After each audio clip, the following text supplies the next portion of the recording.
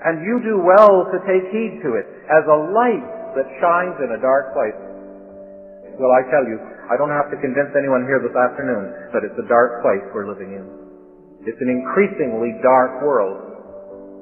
But as the world gets darker, the light ought to shine brighter, don't you think?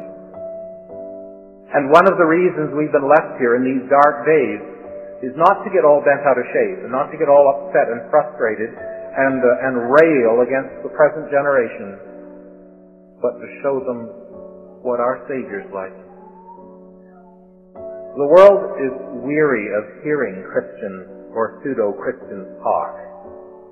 What they desperately need to see is the reality of the life of faith. To see people who live in such a way that it just blows their arguments away. Say, well, I, I, can argue with this person, but I see the reality in their life.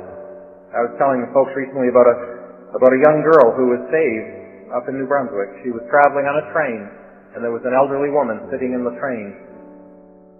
And she didn't have the courage to speak to that elderly woman, but she said, whatever that woman has, that's what I need to be happy.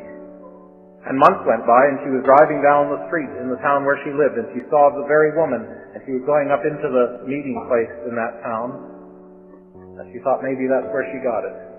So she pulled over and stopped and went in. My dad was preaching the gospel, and Gabrielle got saved. Just the reflection of the glory of Christ in the face of that woman. Now that does not come by watching the late show. I suppose I don't have to tell you that. You can't fake it. That comes by spending time in the presence of the one who, as we behold his glory, we are changed into the same image. I have been given the capacity to show men no longer what I am like, which is a desperate thing, but to show them what he is like. That he could take me out of the dunghill and set me with princes.